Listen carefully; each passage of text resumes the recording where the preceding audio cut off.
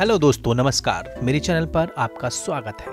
आज दोस्तों, मैं आपको बताने वाला हूँ जापान के एक ऐसे तालाब के बारे में, जिसके पानी का रंग मौसम के मिजाज के मुताबिक बदलता है। लेकिन दोस्तों, वीडियो शुरू करने से पहले आप हमारे चैनल को सब्सक्राइब करें और बेल आइकन को ज़रूर प्रेस करें। यह चिनोइक जिगोकू एक ऐसा रहस्यमय तालाब, जिसे ब्लेडी हिल तालाब के नाम से जाना जाता है।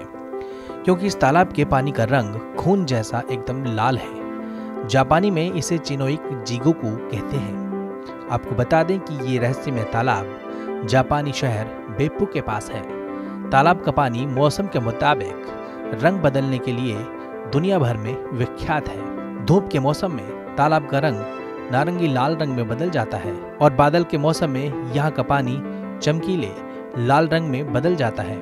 आंधी के समय यह तो और भी रहस्यमय हो जाता है। तालाब में पानी का रंग सुर्ख लाल हो जाता है। लाल तालाब बनने की प्रक्रिया में कोई जादू टोना नहीं है, बस ये एक प्राकृतिक क्रिया है। विज्ञान की भाषा में कहें तो मैग्नीशियम और ऑक्साइड की अधिक मात्रा के कारण ऐसा होता है। पानी के नीचे का टेम्परेचर हर रात पचास हज़ार क्यूबिक मीटर से अधिक पानी को उबालता है। पानी समय समय पर गुफा को भरता है और मैग्मा गर्म होता है, जिससे लगभग उबाल आता है।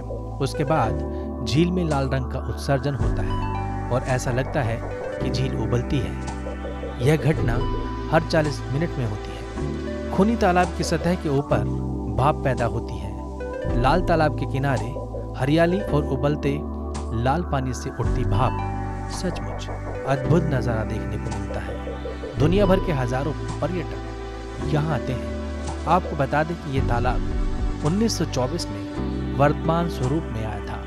शुरुआत से ही बप्पू सिटी, पर्यटकों के बीच लोकप्रिय हो गया। हर साल इस जगह पर दुनिया भर से लगभग 12 मिलियन पर्यटक आते हैं। तालाब के चारों ओर पर्यटकों की सुरक्षा के लिए छोटी बाढ़ लगाई गई है। दरअसल, इस खूनी तालाब में किसी को तैरना मना है, क्योंकि यहाँ पानी का तापमान 90 डिग्री तक पहुँच जाता है। दोस्तों, अगर आपको यह वीडियो अच्छी लगी हो तो वीडियो को लाइक कीजिए और चैनल को सब्सक्राइब कर लीजिए, साथ ही बेल आइकन को दबाएँ, जिससे कि आने वाली हर एक वीडियो का अपडेट मिल सके। तो मिलते हैं अगले वीडियो में, तब तक के लिए धन्यवाद।